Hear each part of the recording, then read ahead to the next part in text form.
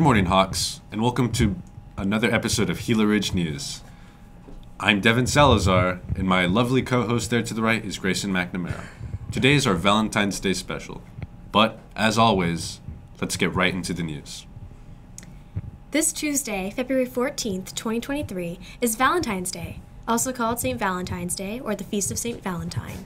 The holiday celebrates the martyr, St. Valentine, and his fleeting romance with the guard's blind daughter. Gifts are usually exchanged between the couples. This is usually portrayed by chocolates, personalized gifts, flowers, watches, necklaces, and heart shaped gifts. This has been celebrated for 1,527 years. So, though it may be corny, make sure to tell your special someone that they're amazing. Now, let's look into our new segment for this week.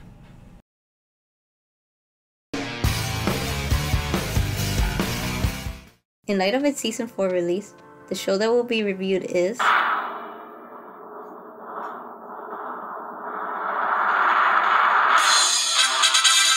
Lego Monkie Kid.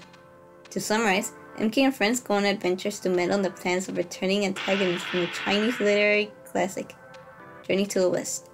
Reading the novel isn't necessary, as the important things are explained well, so you don't have to Google anything.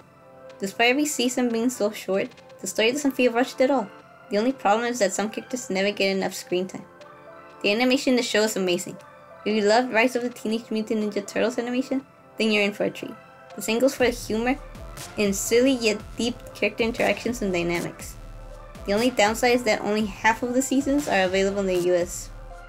Overall rating 4.5 monkeys out of 5. Hawk Nation is a club that shows the school's pride.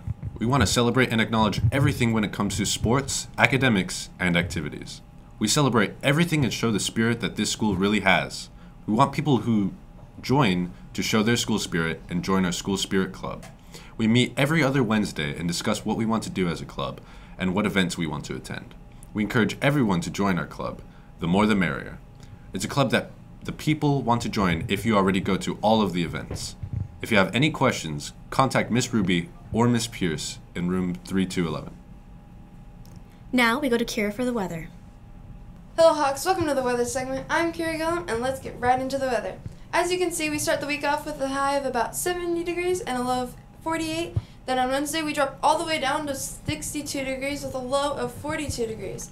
Then, from there on to the end of the week, it's just getting warmer. But make sure to still wear your jackets every day. Now, back to Gray and Devin.